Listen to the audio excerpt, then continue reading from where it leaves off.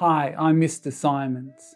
Welcome back to our limited series look at monetary policy, what it is and how it's implemented in the Australian economy. So in the previous videos, we've had a look at what monetary policy is and also how economics textbooks typically explain the process of setting and changing the cash rate by the Reserve Bank of Australia. Something we touched on in the last video is that this textbook explanation is not how it actually happens in the real world. So in this video, we're going to look at how monetary policy is actually changed in the real world.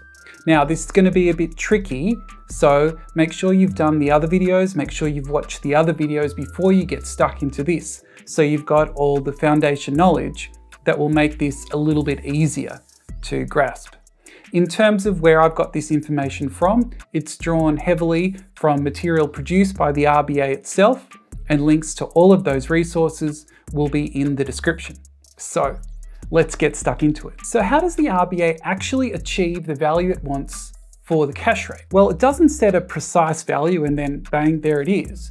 What it does is it sets a target and then works to achieve that target value in the Australian cash market. Let's look at how that happens. Um, in terms of explaining this, I'll briefly go over some of the fundamentals, but if there's anything here in this introductory part that's unclear, make sure you go back to videos one and two to get that extra information. All right, let's go to the virtual whiteboard. So here we are in the Australian cash market. And just to remind ourselves, the Australian cash market is the market where Australia's commercial banks settle debts with each other. So that's for the transactions that take place between all of the banks on a daily basis. So here we are in the cash market. This is the RBA's um, graph of what it looks like. If we look here that the supply of funds in this market that that's set by the RBA. And because it is the RBA setting it at a fixed amount, it is a vertical line. So we can just call that, let's just call that Q1. That's the quantity of funds in the Australian cash market. The demand for funds, however, that this comes from Australia's commercial banks. So these banks have accounts known as exchange settlement accounts in the Australian cash market. They use these funds to settle transactions with each other, to settle those debts with each other. So we'll just put this down that this Australia's commercial banks, they have these exchange settlement accounts. If banks need some extra funds to settle their debts with each other, they can borrow from other banks or from the RBA itself. Likewise, if the banks have got some extra funds, some surplus funds, they can lend this to other banks or save this money with the RBA. Okay, so let's take the next step now. We'll focus on this graph now and let's focus on this line here. Okay, so I've highlighted this in orange. We'll highlight this here too, just to match it up. So the dotted line in the middle with the orange highlight is the RBA's target cash rate. This is what the RBA wants Australia's cash rate to be. Now let's check out the line above with the green highlight. So this is the highest price in the market. This is the RBA's lending rate. And the lending rate here, can you see it says plus 0.25 PPT. So I've just got a little asterisk here. And if you follow the asterisk up to the top here, go all the way over here, what it's saying is that this is equivalent to the cash rate plus 0.25 basis points. So for example, if the cash rate R, say, equals 1.5%, then the lending rate in the Australian cash market would be 1.75%. So it is 25 basis points higher. This lending rate is the price commercial banks pay when they borrow money from the RBA. So let's say one bank is short on funds when they're trying to settle debts. They need to borrow some money. If they choose to borrow it from the RBA, they will need to pay the cash rate plus 25 basis points.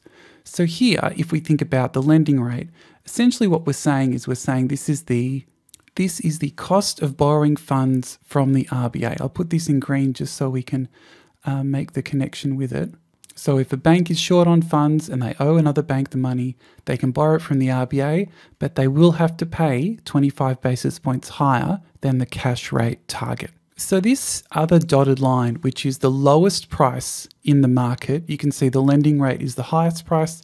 This is the lowest price. This is the RBA's deposit rate, the RBA's deposit rate.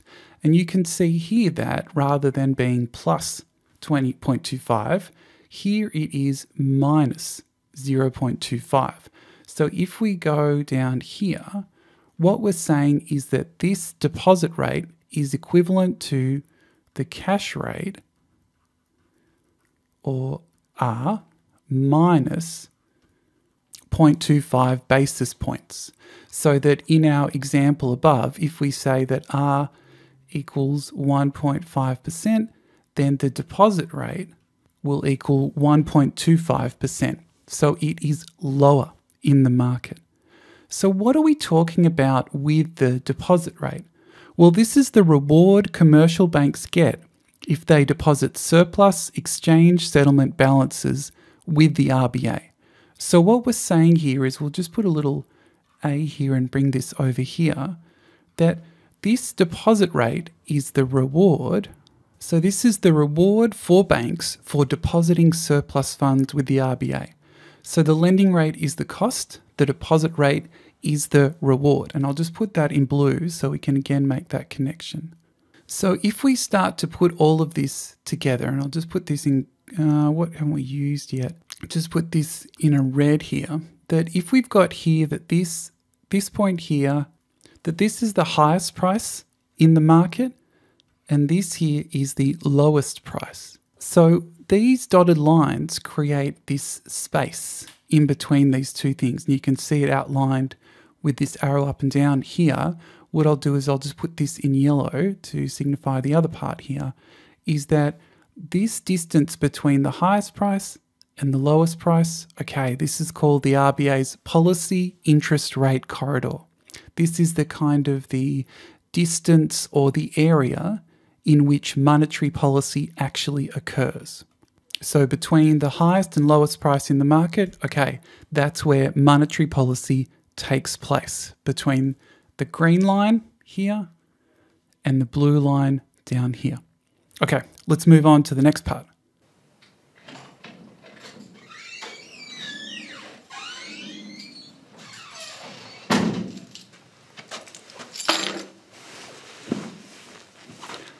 So let me give you the message before we get into it. All of the transactions in the Australian cash market move towards the middle of the policy interest rate corridor. They move towards the target cash rate that the RBA has announced. In this way, the RBA achieves its goal of the cash rate being the level it has set it at. But how does this actually happen? Well, let's get into the explanation. Okay, so here we are back at the Australian cash market. So with the graph we were just looking at before, uh, everything's highlighted in the same colors. So we've got the cash rate target here in the middle. We've got the lending rate. So remember, this is the cost to banks if they want to borrow money from the RBA. And this is the highest price in the market. And then we've got the deposit rate. And you might recall that that is the reward banks get if they deposit their surplus funds with the RBA in the cash market, and that this is the lowest price in the market.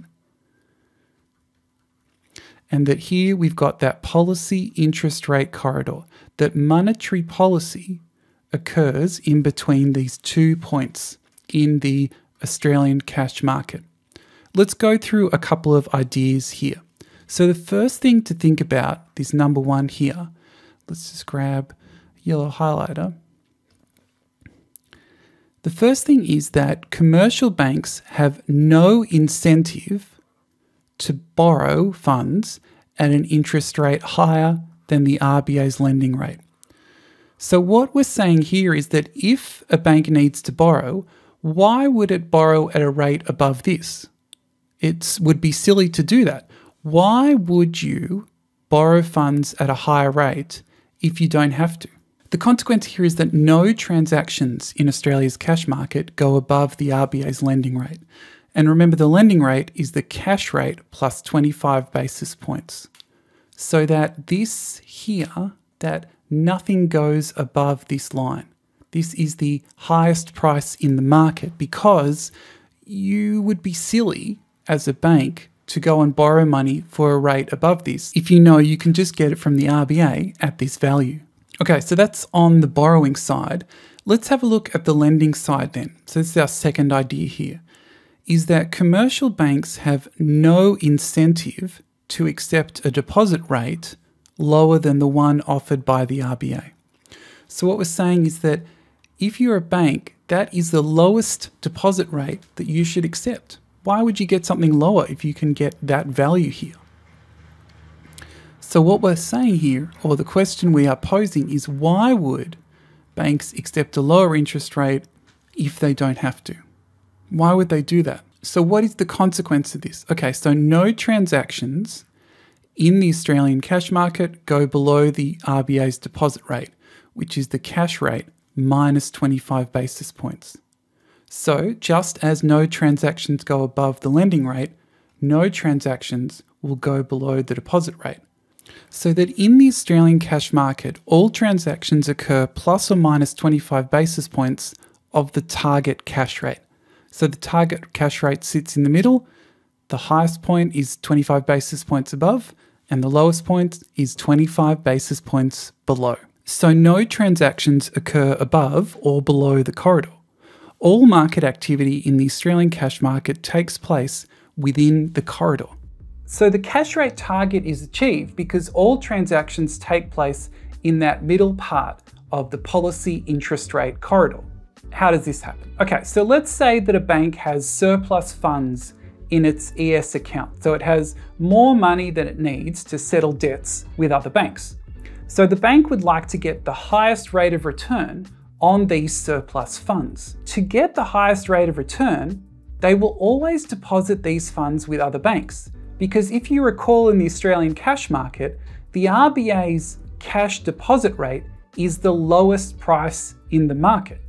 So why would a bank deposit funds and get the lowest possible rate? Instead, the commercial bank with surplus funds, it will ignore the RBA's deposit rate and go to other banks that will offer higher returns for that savings. So let's flip the situation.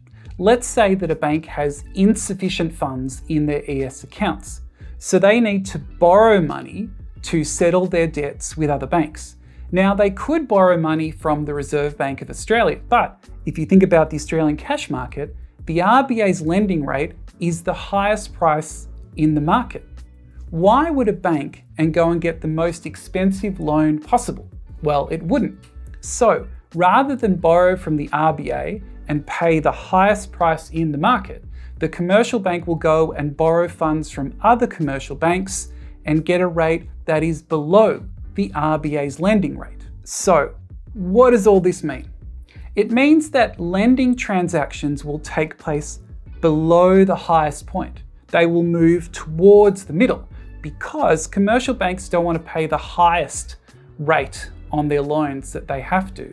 Instead, they want to go seek out cheaper loans, not from the RBA, but from other banks. So the lending rate transactions will move down.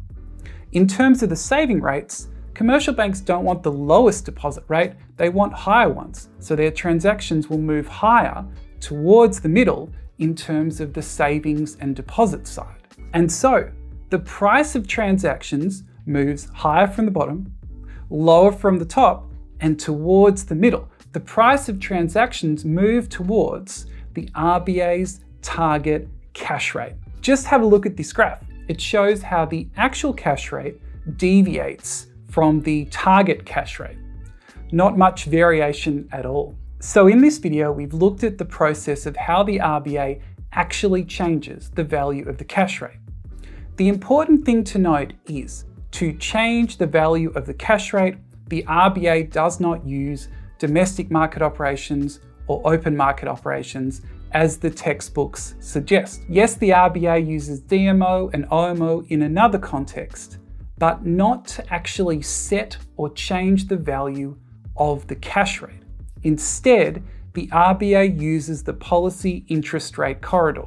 This idea that transactions will move from the top and the bottom to the middle, and exactly that rate that the RBA wants the cash rate to be in the Australian cash market and the Australian economy. So all transactions occur around that target cash rate level. Okay, so a fair amount to get your head around in this video.